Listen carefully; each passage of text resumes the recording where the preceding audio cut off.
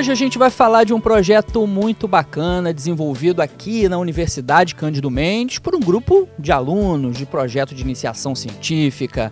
Envolve programa de mestrado e tudo isso coordenado pelo professor Ítalo Matias, que é o coordenador da graduação em Tecnologia em Análise e Desenvolvimento de Sistemas e também professor há muitos anos de um programa de mestrado em pesquisa operacional e inteligência computacional. Especificamente, é essa sua área, né, professor? Muito obrigado aqui pela sua participação. Fala um pouquinho para a gente desse projeto que é uma inovação. A gente tem visto aí muitos meios de comunicação te procurando, né, para falar um pouquinho, realmente porque é algo diferente de tudo que se tem em termos de controle de transporte coletivo aqui na cidade. É, primeiro de tudo, agradecer aí ao Rodrigo. É, o projeto ele surgiu, na verdade, da necessidade que eu, eu deparava com meus alunos e volta e meia eles chegavam atrasados, tá, em sala de aula, até na, na edição científica. E eu cheguei para eles e perguntei, por que vocês estão chegando atrasados?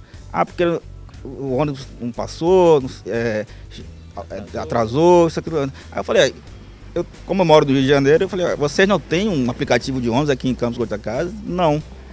Então isso me surpreendeu de uma forma que eu falei, então a gente vai fazer um aplicativo de ônibus aqui para a cidade de Campos Goitacazes para facilitar a mobilidade urbana dos usuários do transporte coletivo. O Ítalo, o aplicativo então ele foi desenvolvido a partir dessa tua ideia, né, a partir de uma experiência que você já tem em outro local. E foi desenvolvido de que maneira? Envolveu alunos só de graduação ou o pessoal do mestrado também? É, ele foi desenvolvido, primeiro de tudo, tem que agradecer é, é, é a própria Universidade de Nando Mendes para ter um, um programa de iniciação científica próprio. Tá? Então isso facilitou bastante. Então teve alunos de iniciação científica, teve alunos do mestrado, tá? tanto do mestrado de pesquisa operacional, inteligência computacional e produção, e também teve alunos é, é, de graduação da engenharia de produção também. Tá? Então foi uma coisa em conjunto. Certo? Teve vários, teve aluno também que faz a, trabalhar com a parte de design. Tá? Então assim, um, um trabalho bem, bem, bem complexo. Tá? E o resultado disso é a primeira versão do aplicativo que a gente pode encontrar hoje na Play Store. Exatamente, a gente só tem um aplicativo para sistema operacional Android. A tela dele vai ter um, um, o mapa do Google, onde você vai ter um, um, um ícone que você vai direcionar exatamente as rotas Tá? Com essas rotas você vai dizer, ah, eu quero é, é, Joca e Santa Rosa. Você clicou lá, vai aparecer lá a rota com os ônibus que estão aquilo ali, mas por enquanto está atendendo só a aviação São João, tá? que ela está colaborando bastante com a gente no desenvolvimento do aplicativo.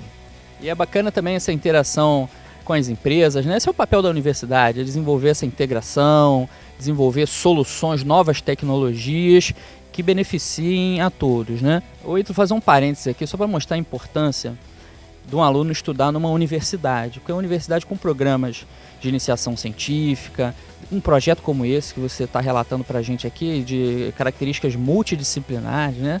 Quer dizer, você tem alunos de engenharia, alunos pensando em design, alunos pensando em programação. Você imagina o ganho pessoal e profissional para as pessoas que participaram desse trabalho e ver a realização, né, o produto final, que é um aplicativo que, que tem o potencial de beneficiar várias pessoas na sociedade. Isso é um ganho muito interessante.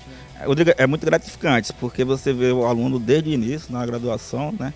E continuar o mestrado, e a partir disso aí você vê o seu trabalho sendo produzido.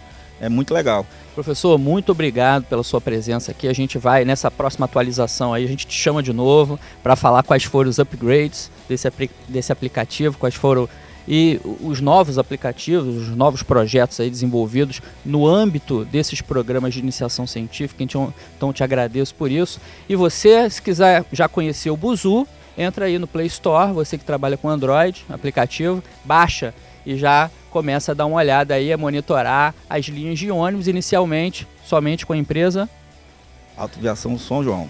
Com a empresa São João.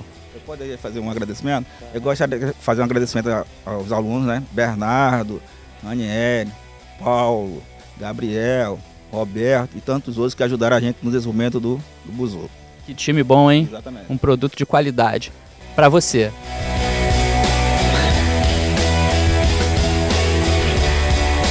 O mundo universitário fica por aqui. Informação e conhecimento de qualidade na Terceira Via e na Universidade Cândido Mendes. Assista aos programas anteriores em nosso site e nas redes sociais. Até a próxima!